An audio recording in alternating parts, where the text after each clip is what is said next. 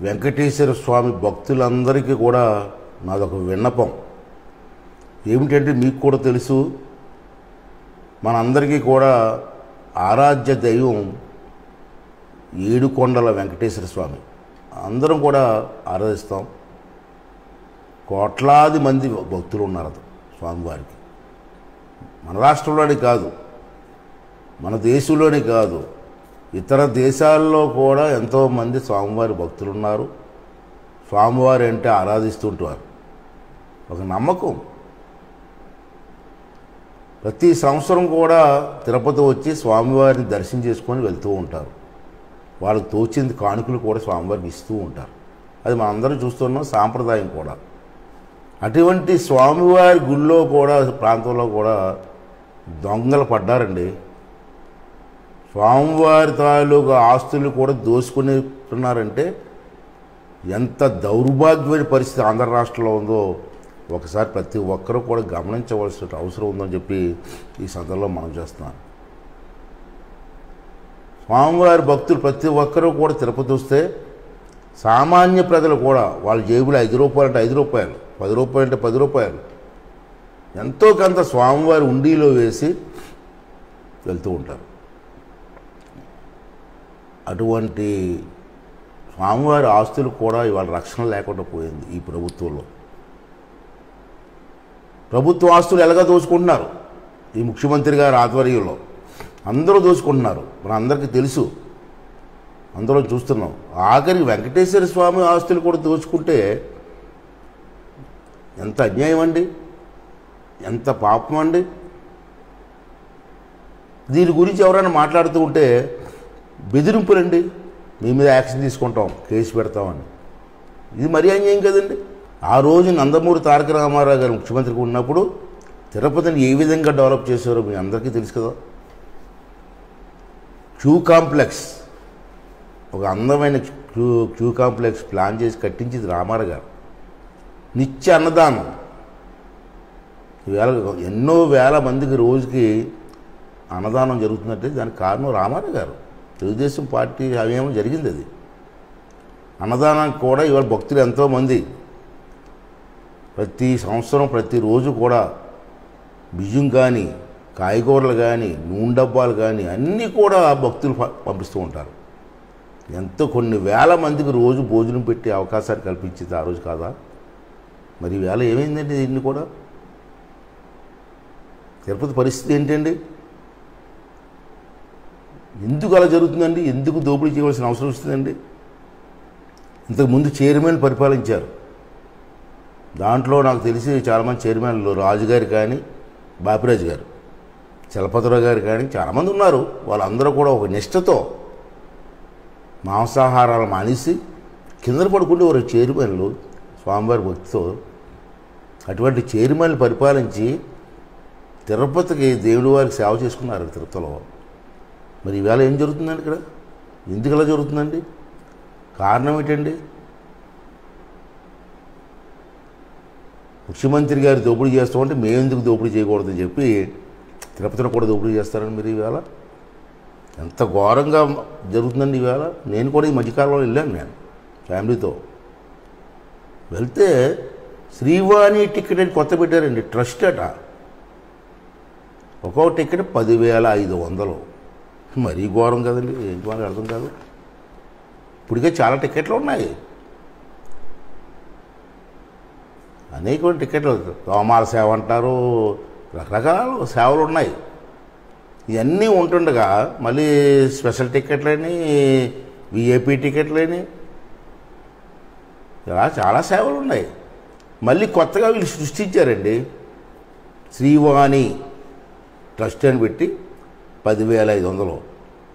నేను ఆశ్చర్యపోయాను. ఈ పదివేల ఐదు వందలు ఏంటి అంటే ఇంతే సార్ మార్చాం సార్ బాగా పాప ట్రస్ట్ డిసైడ్ చేసింది సార్ అని. మరి తప్పు తీసుకున్నాం. తీసుకుంటే రసీదు ఇవ్వలేదు. రసీదు ఇవ్వకపోతే గట్టిగా అడిగారు రసీదు ఎందుకు ఇవ్వరంటే అప్పుడు ఇచ్చారు రసీదు. ఐదు వందల రూపాయలు స్వామివారికి వెళ్తాడ పదివేల రూపాయలు ట్రస్ట్కి వెళ్తుందట నేను అప్పుడు అడిగాను ఈ పదివేల రూపాయలు దేనికి వచ్చి పెడతారంటే మాకు తెలియదు సార్. అని మాట్లాడే పరిస్థితి అండి మీరు చూశారు ఇవాళ ఈ మధ్య చాలామంది నాయకులు కూడా దీని గురించి మాట్లాడుతున్నారు. దోపిడీ జరుగుతుంది జరుగుతుంది. దాంట్లో మా నా విశాఖపట్నం చేసి బండారు సత్యనామూర్తి గారు కానీ గతంలో నేను కూడా మాట్లాడాను. బా బొండా ఉమ్మగారు ఇలా చాలామంది ఈ మధ్యన మాట్లాడుతున్నారు. మాట్లాడుతూ అంటే బెదిరిస్తున్నారు. మీరు ఎవరైనా ట్రస్ట్ గురించి మాట్లాడినా వెంకటేశ్వర స్వామి గురించి మాట్లాడినా మీ మీద చర్యలు తీసుకుంటాం. ఏం తీసుకుంటావా చర్యలు? వెంకటేశ్వర స్వామి ఉండీలు దోపిడీ చేస్తుంది మీరు. ఆస్తులు దోపిడీ చేస్తుంది మీరు. మా మీద చర్యలు తీసుకుంటారా? మాకు అడిగే రైట్ లేదా? ఇంక వెంకటేశ్వర స్వామితో పెట్టుకున్న వాళ్ళు ఎవరో కూడా బ్రతికి బట్ట కట్టలేదు. చాలా ఉదాహరణలు ఉన్నాయి. గతంలో కూడా ఒక ముఖ్యమంత్రి గారు ఏడు కొండలు కాదు ఐదు కొండలు అన్నాడు. ఏమైపోయాడు అలాంటి సంఘటనలు చాలా ఉన్నాయి. అంచేది ఒళ్ళు దగ్గర పెట్టుకొని పరిపాలన చేయండి. కాదట్లేదు ప్రజలు మీకు అవకాశం ఇచ్చారు. పరిపాలన చేసుకోండి. కానీ ఒళ్ళు దగ్గర పెట్టుకుని పరిపాలన చేయండి. స్వామివారితో పెట్టుకోవద్దు. అని హెచ్చరిస్తూ ఇవాళ చూశారు. ప్రజలు కూడా మనం చేస్తాను ఇవాళ. లడ్డు అండి. గుడికి వెళ్తే తిరుపతి వెళ్తే మనం చేసే లడ్డు కొనుక్కుంటాం కదా. ఇంటి లడ్డు కొనుక్కుంటాం తింటాం. కొన్ని లడ్డూలు ఎక్స్ట్రా తీసుకొచ్చిస్తాం. మా చుట్టాలకి పట్టాలకి ఇస్తాం బంధువులకి. పూర్వం ఇంత లడ్డు ఉండేదండి. ఆ లడ్డు ఇంత అయిపోయిందండి. లడ్డు ఇంత అయిపోయి ఇవాళ దాని రేటు కూడా పెంచేశారండి. లడ్డు చూసి నవ్వుకుంటున్నారు జనం. మొన్న తిరుపతి చూడండి సార్ లడ్డు చూడండి సార్ నాకు చూపిస్తున్నారు. కళ్యాణ లడ్డు అయినా ఒకటి ఉంటుంది. ప్రత్యేకంగా అమ్ముతారు. కొంచెం పెద్ద విక్ష- అది వంద రూపాయలు ఉంటుందండి దాన్ని రెండు వందల రూపాయలు చేస్తారండి కొండ మీద హోటళ్ళు లేవు. ముందు భోజనాలు పెడుతున్నారు. ట్రస్ట్ ద్వారా మన దీని ద్వారా. ఎంతమందికి పెడతారు? ఇంకా మిగిలిన చాలామంది వస్తారు కదా. ఇంతకుముందు హోటల్స్ ఉండి ఆ హోటల్కి వెళ్ళి తినేవాళ్ళు. ఇవాళ హోటల్ తీసేశారండి. మూడే నాలుగు వాళ్ళ సొంత మనుషులు హోటల్ నాలుగు పెట్టుకున్నారండి.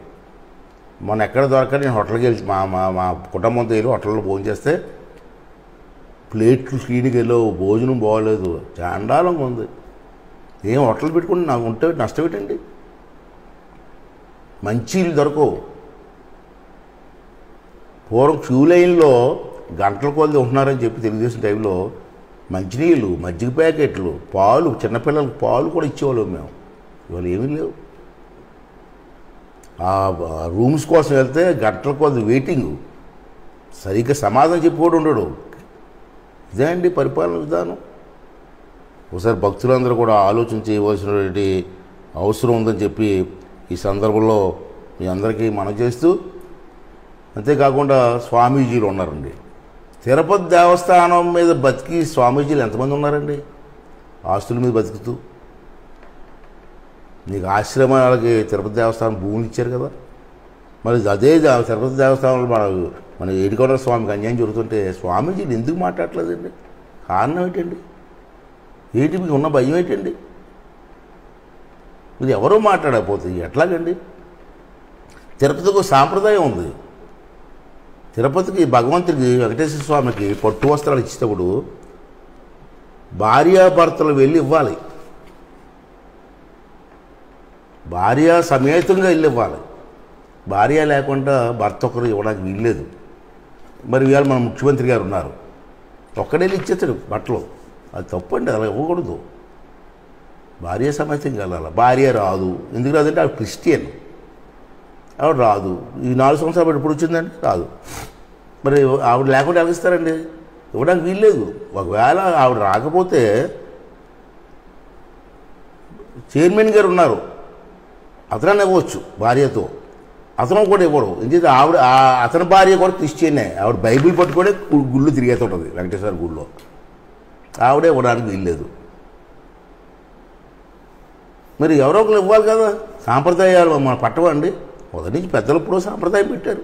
ఆ సాంప్రదాయాలు ఉల్లంఘిస్తారా? ఇది పద్ధతి కాదండి. చాలా తప్పండి ఇది.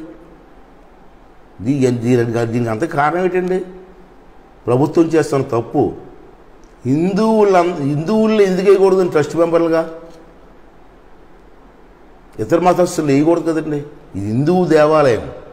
హిందూ దేవాలయం ట్రస్ట్ మెంబర్లుగా హిందువులు వేయండి. వాళ్ళు ఇంట్రెస్ట్గా పనిచేస్తారు. అలాగే చర్చిలు ఉన్నాయి. క్రిస్టియన్స్. దాంట్లో హిందువులు వేయకూడదు. ఓన్లీ క్రిస్టియన్స్నే వేయాలి అక్కడ. అప్పుడు క్రిస్టియన్స్ అంతా కలిసి చర్చిలు బాగు చేసుకుంటారు. అలాగే ముస్లిమ్స్ ఉన్నారు మసీదులు ఉన్నాయి. అక్కడ ఓన్లీ ముస్లిమ్స్ వేయాలా. హిందువులు వేయకూడదు. మీరేమో హిందూ దేవాలయాల్లో క్రిస్టియన్స్ వేస్తారు. క్రిస్టియన్స్ దేవాలయాల్లో ఏమో హిందువులు వేస్తారు. ఇదేం సాంప్రదాయం? నాకు అర్థం కాదు. మనకు సాంప్రదాయాలు ఏడిసాయి కదా. పెద్దలు నిర్ణయించారు కదా. అంతేత కొంచెం ఒళ్ళు దగ్గర పెట్టుకొని మనం చేసుకోపోతే ఎంతో మంది మనోభావాలు దెబ్బతింటాయండి ముఖ్యమంత్రి గారు. అప్పుడు చంద్రబాబు నాయుడు గారు పచ్చ డైమండ్ పట్టుపోయాడు కదా. మరి నాలుగు సంవత్సరాలు అయింది పచ్చ డైమండ్ ఏమైందయ్యా? ఏమైంది పచ్చ డైమండ్? మీ ఇంట్లో ఉందా?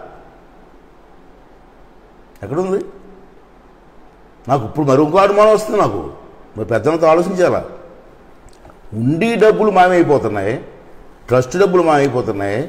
ఎప్పుడో పూర్వం నుంచి భక్తులందరి కోసం బంగారం వెండి ఆభరణాలు డైమండ్స్ వెంకటేశ్వర స్వామికి కానుకలు ఇస్తూ ఉంటారు పెద్ద పెద్ద వాళ్ళు వచ్చి. అలాంటి ఓల్డ్ ఆస్తి ఉంది భగవంతుడిది. నాకు తెలుసు కొన్ని టన్నులు ఆస్తి ఉండవు ఆ బంగారం ఉండొచ్చు. అసలు బంగారం ఉందా ఇప్పుడు ఉందా లేదా లేదా? ఈ నాలుగు సంవత్సరాలు ఒడిశారా? నాకు బ్రహ్మాండం వస్తుంది. ఫస్ట్ డబ్బులే తినేస్తాం మీరు. ఆ బంగారం ఉన్నదా? ఆ విండ్ ఉందా? ఆ డైమండ్స్ ఉన్నాయా?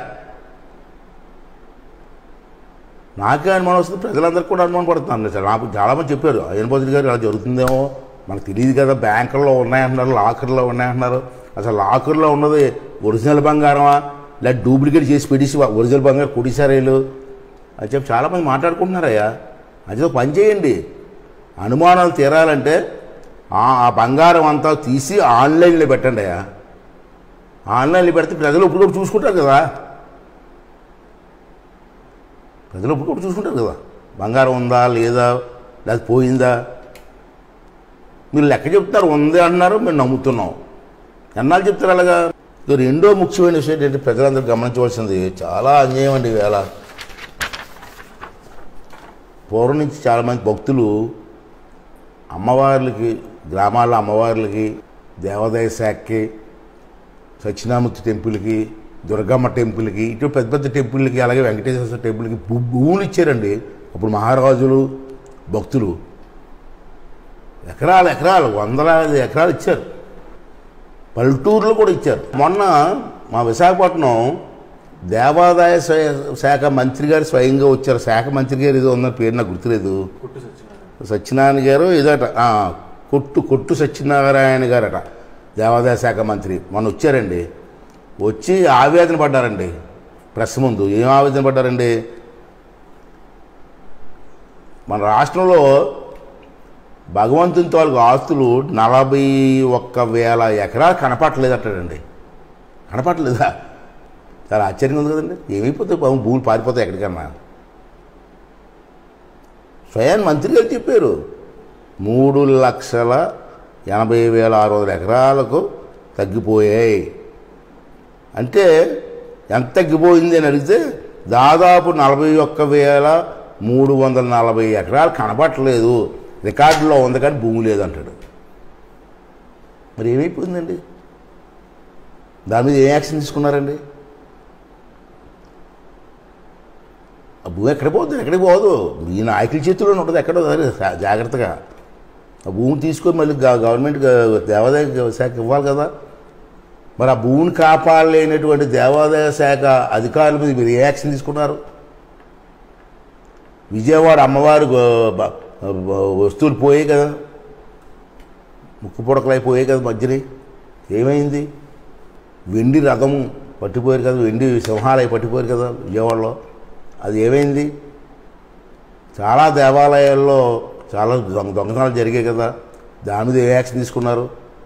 ఇవన్నీ కూడా చాలా భక్తుల తాలూకు మనోభావాలు దెబ్బతీసే విధంగా పరిపాలన జరుగుతుందండి. అంచేత పెద్దలందరూ కూడా దీని మీద దృష్టి పెట్టాలి. మాట్లాడాలి. ఎందుకు భయపడాలండి? భగవంతుడిని మమ్మల్ని రక్షించిన మహాప్రభు భగవంతుడా అని మనం కోరుకుంటూ ఉంటాం. ఇవాళ భగవంతుడికి అన్యాయం జరుగుతూ ఉంటే ఎవరికి చెప్పుకుంటారండి భగవంతుడు? భక్తులుగా మనకు బాధ్యత లేదండి. మళ్ళీ ఏం చేస్తారండి? అందరూ భక్తులు అన్నవాళ్ళు ప్రతి వాళ్ళు కూడా మాట్లాడాలండి. స్వామీజీలు ముఖ్యంగా భగవంతుని పేరు చెప్పి బతుకుతున్నారు మీరు.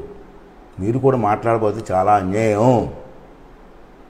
అది ఇప్పటికైనా ప్రభుత్వంలో ఉన్న పెద్దలు కళ్ళు తెరిచి భగవంతుడితో పెట్టుకోవద్దండి. చాలా పవర్ఫుల్ గాడ్ వెంకటేశ్వర స్వామి అంటే చాలా పవర్ఫుల్ పెట్టుకున్నవాడు ఎవడో బతికి బట్ట కట్టలేదు. మరొకసారి చెప్తున్నాను. అది ఇమీడియట్ కళ్ళు తెరిచి ఇప్పటికైనా సరిదిద్ది